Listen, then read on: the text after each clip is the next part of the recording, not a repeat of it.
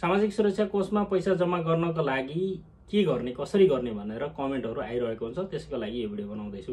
यदि हजुरले सामाजिक सुरक्षा कोषमा पैसा जम्मा गर्न चाहनुहुन्छ पहिला जम्मा गरिसक्नु भएको छ अलिअलि र अहिले पनि कन्टिन्यू जम्मा गर्न चाहनुहुन्छ भने अब त्यो कसरी गर्ने? वा सुरुबाटै कसरी गर्ने? त्यसको बारेमा यो भिडियो रहेको छ। सामाजिक सुरक्षा कोषमा पैसा जम्मा गर्नको लागि हजुरलाई मुख्यतः चाहिने भनेको दुईवटा नम्बर हो। एउटा हो एसएसएफ आइडी एउटा हो सब्मिसन नम्बर। एसएसएफ आइडी एकपटक बनेपछि सधैँभरि त्यही रहन्छ तर सब्मिसन नम्बर त्यो चेन्ज भइरहन्छ।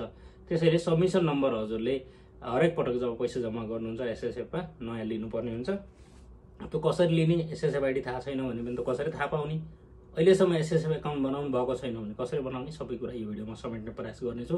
भिडियोलाई यहाँसम्म हेर्नु भएको छ भने लाइक गर्नु होला च्यानललाई सब्सक्राइब गर्नु होला कमेन्ट गर्नु होला कहाँबाट हेर्दै हुनुहुन्छ र यो सम्बन्धी कुनै कन्फ्युजन छ भने पनि हजुरले कमेन्ट गर्दा हुन्छ भिडियो हेरिसकेपछि। र अब अगाडि म हजुरलाई मोबाइलको स्क्रिनमा लगेर जान्छु त्यहाँनिर। हजुरले एसएसएफ आइडी कसरी बनाउने सब्मिसन नम्बर कसरी लिने त्यो सबै बताउनेछु त्योभन्दा पहिला म हजुरलाई के भन्न चाहेँ भन्दाखेरि तपाईँले सब्मिसन नम्बर लिने दुईवटा तरिका छ। वा एसएसएफ एसएसएफ एकाउन्ट बनाउने पनि दुईवटा तरिका छ। त्यो कसरी? सबभन्दा सजिलो तरिका हजुरले चाहनुहुन्छ भने एसएसएफ एकाउन्ट बनाउनु भएको छैन वा बनाइसक्नु भएको छ तर सब्मिसन नम्बर थाहा छैन अहिले पेमेन्ट गर्नको लागि भने हजुरले फेम्स डट दफे डट गभर्मेन्ट डट एनपीको वेबसाइटमा जानुहोस् जहाँबाट श्रम हुन्छ। त्यहाँभित्र गएर हजुरले क्रिट एसएसएफको एकाउन्टमा क्लिक गरेर नयाँ एसएसएफ आइडी एकाउन्ट बनाउन सक्नुहुन्छ अहिलेसम्म बनेको छैन भने। यदि बनिसकेको छ भने एसएसएफ आइडी चाहिँ माथि नै प्रोफाइलमा देखाइरहेको हुन्छ। त्यही एसएसएफ आइडीलाई हजुरले प्रयोग गर्ने हो। र श्रम गर्दै गर्दाखेरि हजुरले पेमेन्ट गर्ने हो भने सब्मिसन नम्बर पनि त्यहीँ देखाइदिन्छ। हजुरले जब श्रमको एप्लिकेसन बनाएर पेमेन्टको अप्सनसम्म पुग्नुहुन्छ त्यहाँबाट ब्याक गएर हजुरले प्रोफाइलमा जानुभयो भने सब्मिसन नम्बर त्यही देखाउँछ। र त्यो सब्मिसन नम्बर प्रयोग गरेर हजुरले पेमेन्ट गर्न सक्नुहुन्छ। श्रम गर्दाखेरि यदि हजुरले एसएसएफमा पैसा जम्मा गर्नको लागि हो भने हजुरले जुन सब्मिसन नम्बर देखिरहनु भएको छ श्रमको पोर्टलमा त्यही प्रयोग गर्ने हो। अन्य सब्मिसन नम्बर प्रयोग गर्नुभयो भने एसएसएफ एकाउन्टमा पैसा जम्मा भए तापनि श्रममा देखाउँदैन। त्यो हो श्रमको सम्बन्धी। र अब अब हजुरले सामाजिक सुरक्षा कोषमा पैसा जम्मा गर्ने हो भने अब श्रम पनि गर्नु छैन सामाजिक सुरक्षा कोषमा पैसा जम्मा गर्नु छ। एसएसएफ आइडी थिएन हजुरले श्रमको पोर्टलमा गएर क्रिएट एसएसएफ आइडीमा क्लिक गरेर एसएसएफ आइडी बनाउनु भयो। अब एसएसएफ आइडी तपाईँसँग छ सब्मिसन नम्बर चाहियो। सब्मिसन नम्बर लिनको लागि हजुरले सिम्पली एसएसएफको एकाउन्टमा लगइन गर्ने हो। त्यो कसरी गर्ने? अगाडि मोबाइलको स्क्रिनमा म हजुरलाई देखाउँदैछु। मोबाइल कम्प्युटर ट्याब जे छ त्यसमा हजुरले सेम मेथड तरिका प्रयोग गर्न सक्नुहुन्छ। र अगाडि देखाइरहेको स्टेपहरूलाई फलो गर्दै हजुरले एसएसएफ आइडीबाट सब्मिसन नम्बर निकालेर पैसा जम्मा गर्न सक्नुहुन्छ। पैसा जम्मा गर्नको लागि ई सेवा खल्ती आइएमइपिए वा नेपालका मोबाइल ब्याङ्किङहरू प्रयोग गर्न सक्नुहुन्छ। र पछि हजुरलाई कुनै कन्फ्युजन भयो भने हजुरले कमेन्ट गर्नु होला पुरा भिडियो हेर्नु होला कतै न कतै तपाईँको समस्याको समाधान यही भिडियोमा छ।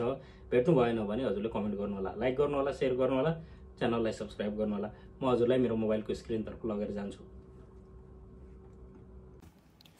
सामाजिक सुरक्षा कोषमा पैसा जम्मा गर्नको लागि जुन एसएसएफ आइडी र सब्मिसन नम्बरको कुरा हुन्छ त्यो एसएसएफ आइडी तपाईँले कसरी बनाउने मैले भनिसकेँ होइन? त्यही पनि यदि हजुरले श्रमको पोर्टलमा गएर एसएसएफ आइडी कसरी बनाउने भन्ने कन्फ्युजन भइरहेको छ भने यहाँनिर सर्टमा म हजुरलाई देखाइदिन्छु है?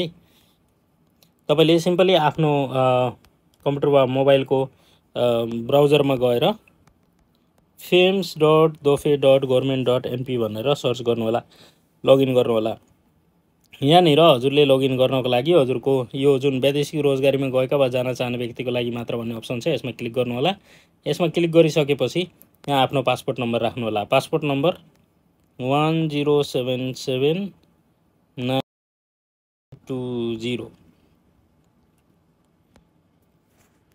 नेक्स्टमा क्लिक गर्नुहोस् पासपोर्ट नम्बर राखेर त्यहाँबाट हजुरले यहाँनिर पासपोर्ट राख्नुहोस्। पासवर्ड राख्नुहोस्। पासवर्ड राख्नको लागि पासवर्ड तपाईँको के हो त तपाईँलाई थाहा हुनु पऱ्यो यदि थाहा छैन भने तपाईँले डिफल्ट पासवर्ड वान ट्राई गर्न सक्नुहुन्छ जिरो ट्राई गर्न सक्नुहुन्छ one two three four try गर्न सक्नुहुन्छ। वा हजुरको यो यसले पनि खुलेन भने हजुरले एमएसीलाई मेल गरेर मेरो एकाउन्ट रिसेट गरिदिनुहोस् भनेर रिक्वेस्ट गर्न सक्नुहुन्छ आफ्नो पासपोर्ट नम्बरसहित र अब यसरी हजुरको लगइन भइसकेपछि यहाँनिर क्रिएट एसएसएफ आइडी भनेर यहाँ तल देखाउँछ यदि बनेको छैन भने। यो एकाउन्टको बनिसकेको छ। त्यसैले एसएसएफ आइडी र सब्मिसन नम्बर यहाँ देखाइरहेको छ। एसएसएफ आइडी तपाईँको यही हो। तर सब्मिसन नम्बर चाहिँ तपाईँको फरक हुन्छ। किन भन्दा यो युज भइसकेको छ सब्मिसन नम्बर अब यही सब्मिसन नम्बर प्रयोग गरेर हजुरले पेमेन्ट गर्नु मिल्दैन। अब हजुरले नयाँ सब्मिसन नम्बर लिने हो। त्यसको लागि हजुरले एसएसएफ आइडी कपी गर्नुहोस्। लगआउटमा क्लिक गरिदिनुहोस्। यो एकाउन्टलाई लगआउट गरिदिनुहोस्। एसएसएफ आइडी तपाईँसँग भइसक्यो। यदि थिएन त्यहाँनिर भने क्रिएट गर्दाखेरि नयाँ आइहाल्यो होइन? त्यसपछि एसएसएफ नेपाल भनेर सर्च गर्नुहोस् है।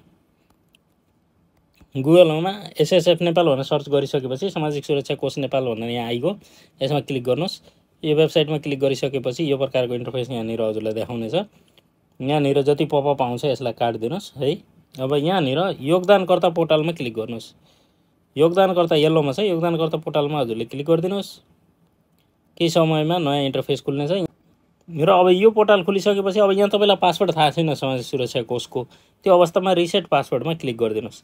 रिसेट पासवर्डमा क्लिक गरेर हजुरले यहाँनिर युजर नेम र some SSF आइडीमा same S S F ID राखिदिनुहोस् त्यसपछि रिकभरमा क्लिक गरिदिनुहोस्। रिकभरमा क्लिक गरिसकेपछि जुन इमेलमा तपाईँको फेम्स डट दफे जुन श्रमको पोर्टल छ त्यो युज भएको छ त्यो यहाँनिर हजुरको इमेल वा मोबाइल नम्बरको अप्सन हजुरलाई दिन्छ। त्यो मोबाइल नम्बर वा इमेल टाइप गरेर त्यसमा ओटिपी पठाएर तपाईँले रिसेट गर्न सक्नुहुन्छ। मैले अलरेडी रिसेट गरेको गरिसकेको छु पासवर्डसम्मसँग त्यसैले म अब यहाँनिर लगइन गर्नेतिर लाग्छु। यहाँ हेर्नुहोस्। मैले यहाँनिर अब यो एसएसएफ आइडी पनि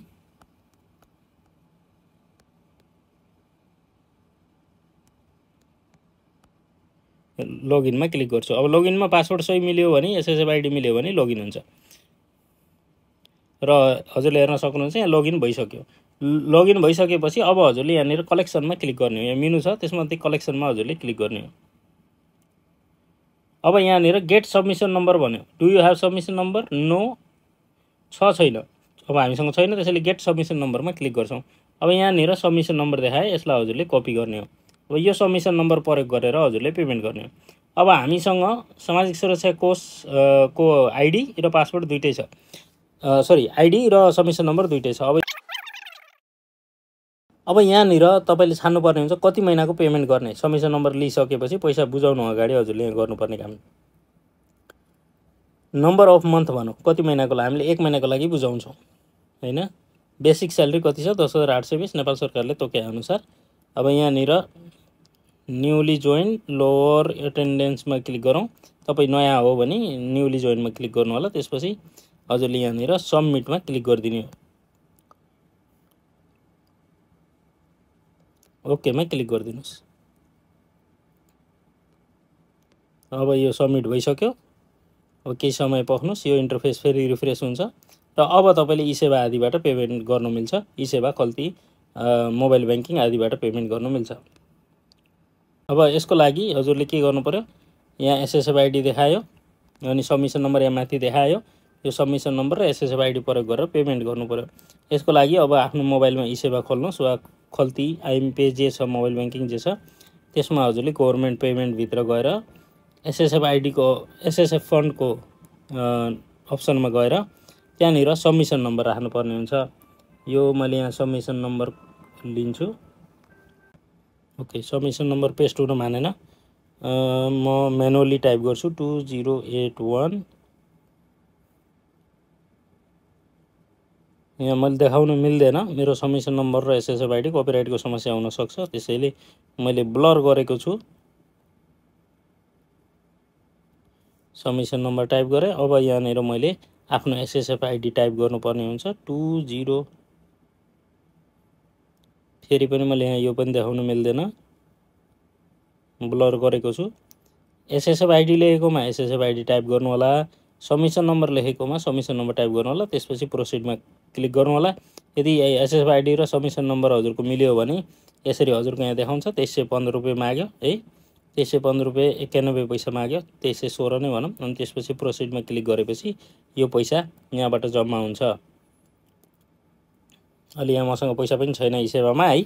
अनि यहाँबाट हजुरले प्रोसिड गरिसकेपछि यहाँबाट पैसा जम्मा हुन्छ र पैसा जम्मा भइसकेपछि भएको नभएको जम्मा हजुरले यो सामाजिक सुरक्षा कोषको ड्यासबोर्डमा जानुहोस्। ड्यासबोर्डमा क्लिक गर्नुहोस्।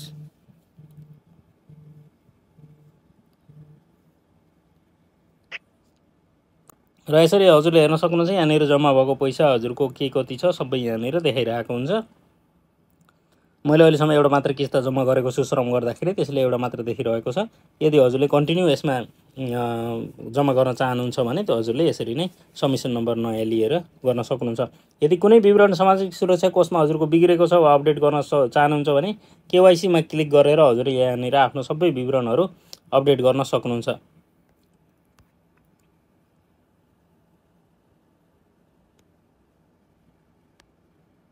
अब यहाँनिर हजुरले समिसन नम्बर लिइसकेपछि यहाँनिर आफ्नो नेपालीमा नाम आदि इत्यादि सबै आफ्नो विवरणहरू यसमा अपडेट गर्न सक्नुहुन्छ। र यहाँबाट सबै विवरणहरू अपडेट भइसकेपछि नेक्स्ट टाइम हजुरलाई लगइन गर्न सजिलो हुन्छ। र यहाँनिर हजुरले आफ्नो नोमिनीहरूको हकवाला आदिको पनि सबै यहाँनिर गर्न सक्नुहुन्छ। कागजपत्रमा धेरै कुराहरू चाहिन्छ। हजुरको जस्तो श्रीमतीको नाम राख्ने हो आदि पनि चाहिन्छ। ती कुराहरू हजुरले सबै तयार गर्नु होला जे होस् केवाइसी अपडेट गर्न सक्नुहुन्छ यहाँबाट। यसरी हजुरले सामाजिक सुरक्षा कोषमा सजिलै पैसा जम्मा गर्न सक्नुहुन्छ। यदि यो विषयमा थप केही कन्फ्युजन छ भने हजुरले कमेन्ट गर्नुहोला। अहिलेसम्म च्यानललाई सब्सक्राइब गर्नुभएको छैन भने सब्सक्राइब गर्नुहोला। विदेशमा हुँदाखेरि काम लाग्ने भिडियोहरू मैले बनाइरहेको हुन्छु। हजुरलाई धेरै उपयोगी हुनसक्छ जुनसुकै देशमा भए पनि हजुरलाई उपयोगी हुनसक्छ र मेरो भिडियोहरूको बारेमा प्रतिक्रिया कुनै छ भने हजुरले कमेन्टमा लेख्न बिर्सनु होला आजको भिडियोमा यति नै। च्यानललाई सब्सक्राइब गर्नुहोला।